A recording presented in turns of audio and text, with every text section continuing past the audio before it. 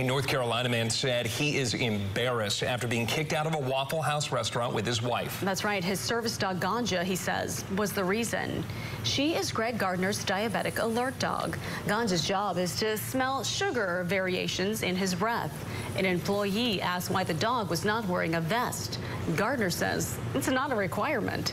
The dog just has to be attached to a chair or under voice control. Gardner says that was the case. Her command when we go to a restaurant is under. That means she goes under the table and lays down.